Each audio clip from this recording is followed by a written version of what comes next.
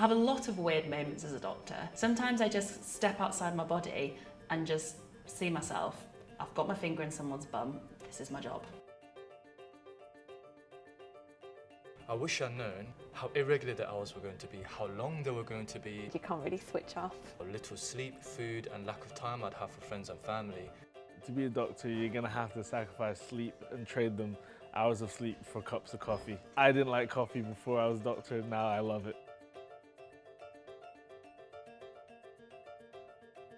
You spend a lot of your day not really knowing what you're doing and feeling like you're just winging it. My first crash call, I didn't know what I was going to face when I got there. I didn't know what I'd have to do. It is a very dirty job, and when I say dirty, I mean that I'll be dealing with feces, urine, blood, sputum, snot on a daily basis.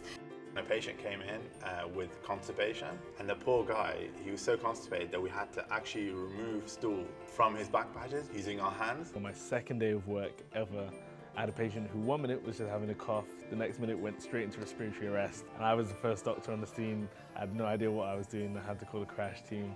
And my heart basically was probably beating just as fast as his. I had a patient who was bleeding out of a tube in his neck, and the blood was like literally flying everywhere. And that was the scariest time because the patient was wide awake as well.